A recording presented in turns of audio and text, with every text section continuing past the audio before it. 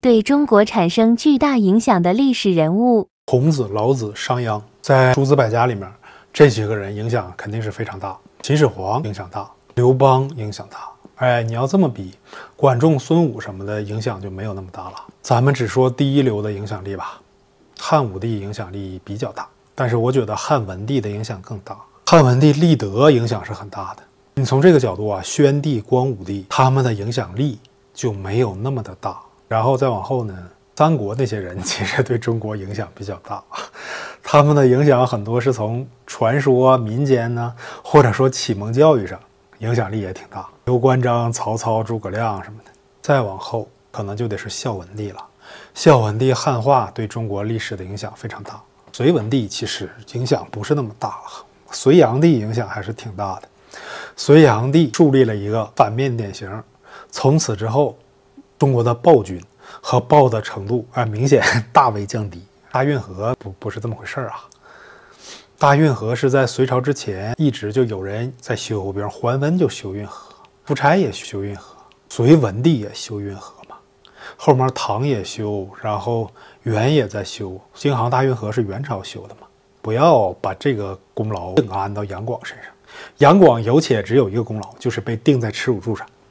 不要把杨广再从耻辱柱上拿下来，那你是不尊重杨广。哎，现在的广粉都是不尊重杨广，他们抹杀了杨广对中国唯一的贡献。然后李世民，李世民肯定是影响很大。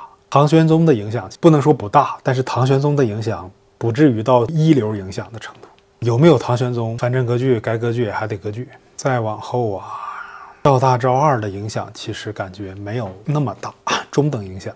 你要说铁木真也算进去的话，肯定影响是巨大。蒙元那几个人影响都很大，再往后影响感觉就不是特别特别大了。整个社会啊，价值观念也比较成型了。像朱熹、王阳明这两个思想家，比大多数明清的皇帝影响力都要大。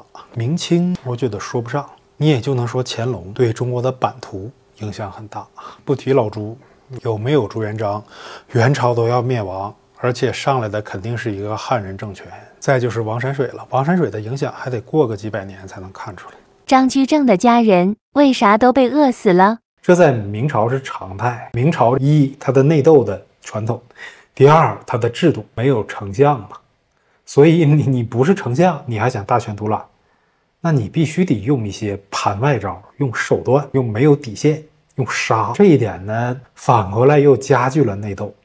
就一内斗起来，必然又会分成派系，一分成派系，内斗就又更加的惨烈，没底线。就在这种环境下吧，你如果大权独揽了，你不敢放权，你不敢什么激流勇退，因为你得罪了太多的人，也有太多敌对派系的人，哎呀，一门心思要杀你。你只要失去权力，不但死，而且可能是全家死，大概率全家死。张居正虽然自然死亡，他家人不也那样被饿死了？那这又会导致一个什么结果呢？你只要掌了权，你就会变得更加的狠，更加的没有底线，必须去党同伐异搞内斗。因为你一旦失去权力，你不只是失去权力那么简单。所以明朝搞的那样，这是有很多原因构成。